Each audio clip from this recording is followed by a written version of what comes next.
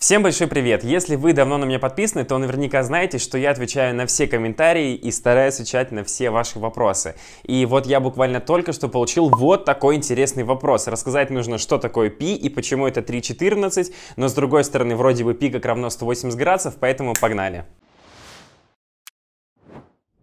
Начнем вместе с вами с того, что действительно π это 3,14. Я хочу рассказать немного истории для того, чтобы вам, ну, математика казалась не только какими-то непонятными числами, цифрами, но еще и с исторической точки зрения достаточно интересной наукой. 23 века до нашей эры, примерно когда-то тогда, строилась Вавилонская башня, и уже тогда инженеры строили эту башню, используя вот это понятие число π. Они пока не знали, чему оно равно на самом деле, и считали его просто как число 3. И вот представь, что только где-то лет 300-400 назад, примерно до 18 века, число π не имело какого-то своего названия. Это число называли вот как некоторое определение. Вот теперь мы подходим к тому, что такое число π. Если посчитать длину, соответственно, нашей окружности, то есть вот расстояние рулеткой, не знаю, или еще чем-нибудь отсюда вот до сюда, и разделить на его диаметр, то мы вместе с вами абсолютно в любой окружности получим одно и то же.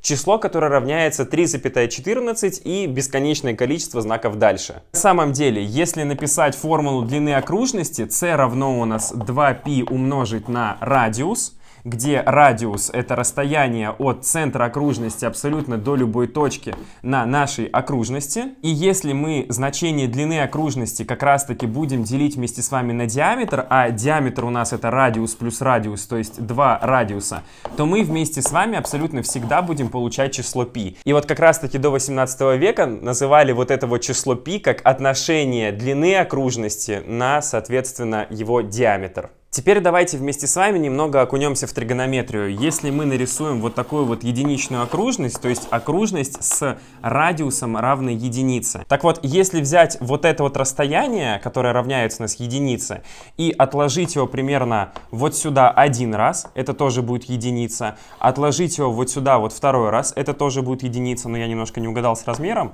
Вот так вот. Отложить его третий раз, то у нас останется вот такой вот кусочек, который как раз таки будет у нас 0 0,14 и так далее. То есть вот расстояние вот отсюда, вот до сюда у нас будет равняться 3,14, то самое как раз-таки число π.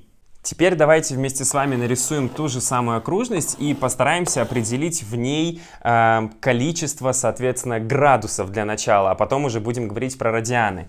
Если мы посмотрим на вот такой вот центральный угол, а центральный угол у нас равен дуге, на которую он опирается, это 90 градусов, значит это будет тоже 90 градусов. Следовательно, все четыре оставшиеся угла у нас тоже будут по 90 градусов. И мы с вами получаем то, что полностью весь оборот, то есть длина всей вот этой окружности в градусной мере, это 360 градусов. Мы вместе с вами совсем некоторое время назад проговорили то, что расстояние отсюда вот до сюда равно 3,14 и бесконечность. То есть это то же самое, что и π мы вместе с вами можем сказать то, что π это 180 градусов. Значит, полностью весь оборот вот отсюда вот до сюда с точки зрения градусов, это у нас будет 360 или это будет у нас 2π радиан. В принципе, это вот самое базовое понятие, которое нужно знать для того, чтобы как-то работать, например, с единичной окружностью, если мы с вами говорим про тригонометрию. Сейчас я вам расскажу один лайфхак, который я даю своим ученикам на полноценном формате подготовки. Ну, что такое вообще единичная наша окружность? На самом деле это у нас целых, ну, две оси, друг на друга наложены. Вот это называется ось значений выражений, то есть сюда смотрит x, сюда смотрит y, здесь у нас 0, то есть декартовая ось. Окружность на самом деле это совершенно другая ось, которая называется ось градусов. Но так как мы вместе с вами говорим про какую-то, например, координатную прямую, наверное, где-то у этой прямой должен находиться 0. Так вот, на окружности у нас это не координатная прямая, здесь находится 0. И если мы прибавляем какое-то значение градусов, то мы мы с вами идем против часовой стрелки. Если мы вычитаем, то мы идем, соответственно, по часовой стрелке.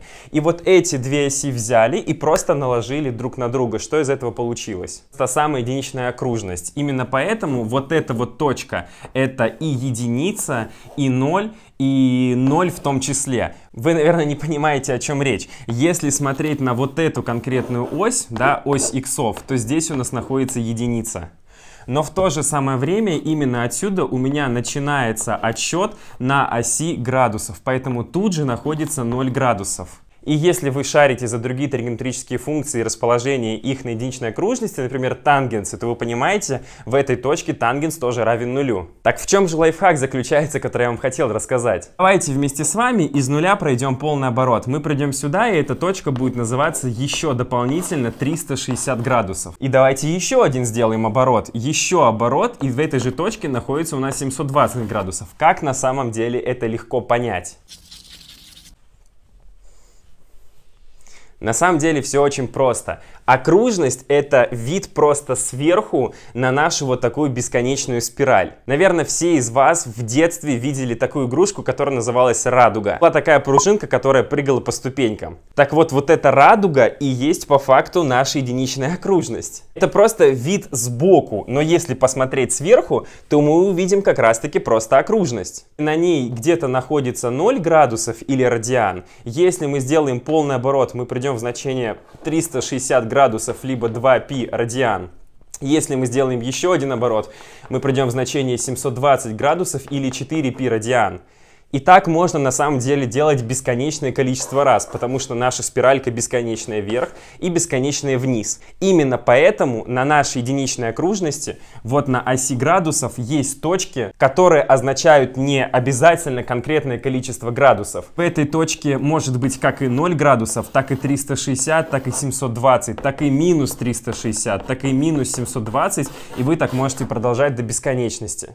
Еще раз объясню почему. Потому что окружность это бесконечная спираль. И вот эти значения, они просто-напросто накладываются по факту друг на друга, а мы смотрим на них сверху. Мне кажется, что я рассказал сполна с точки зрения вот самого начального понимания процесса. Поэтому напиши, пожалуйста, свое мнение в комментариях, потому что я обязательно его учту при съемке других видео. И если у тебя будут какие-то вопросы, то тоже не стесняйся и пиши, ведь я отвечаю всем своим подписчикам лично. И на будущее тебе скажу и буду отпускать. У нас есть телеграм-канал. В нем пока совсем небольшое количество участников. Ты можешь переходить туда и туда писать свои вопросы. Так как небольшое количество участников, то я могу ответить, соответственно, каждому. Поэтому задавай вопросы вопросы тоже туда. На самые интересные буду снимать вот такие видео. Большое спасибо тебе за просмотр. Поставь колокольчик для того, чтобы не пропустить остальные длинные полезные видео. До скорых встреч и пока!